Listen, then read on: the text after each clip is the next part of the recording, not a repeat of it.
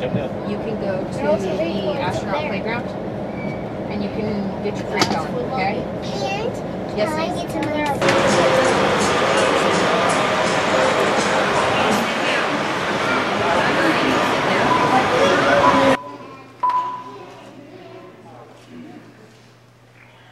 This is the firing room, launch control for the Apollo missions. This is not a mock-up. These are the very consoles we sat at when men first took off to fly to the moon. The tragedy of Apollo 1 had put us a year and a half behind. We were making up for it in one big leap, and we were doing it with a rocket that no man had ever flown before. You are now in the final minutes before the launch of Apollo 8. Right here, where actions happen.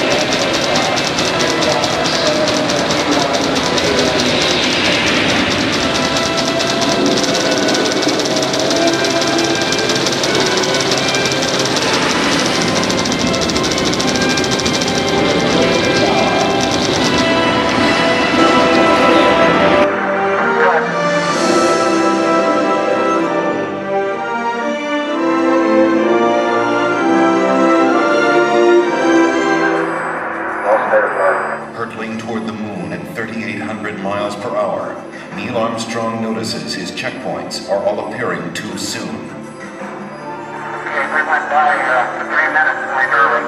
The astronauts have rehearsed for thousands of possible malfunctions, but not this one.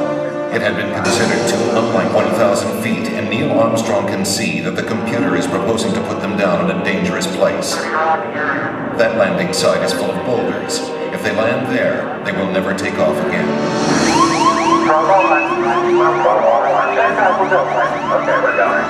At 350 feet, Armstrong ignores his computer navigation and veers away from the rocky landing site with no time to explain to mission control. 30 seconds. 30 seconds. Down two and a half.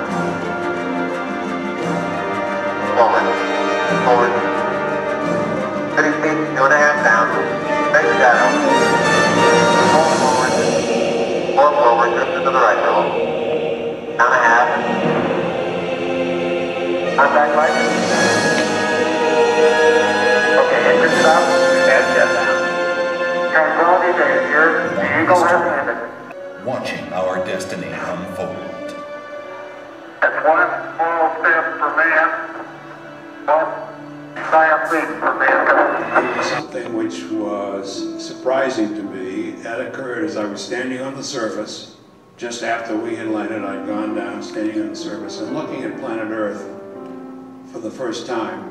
Uh, seeing the beauty, seeing the, the finiteness of it, the, the limits of it, uh, and realizing what a shame it was that people were confronting each other on that planet without realizing what it was doing to the planet.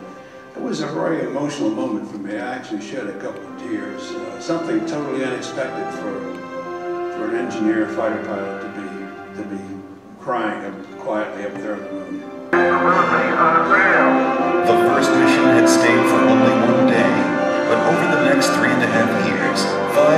Apollo missions visited the moon, and with each one, we stayed longer, roamed further, and discovered more.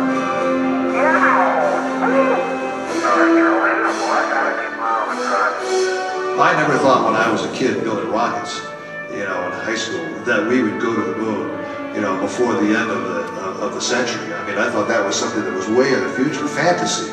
I was rolling on the moon one day. In Hey, look at the size of that rock. That is the best sample we got. Just don't stub your toe.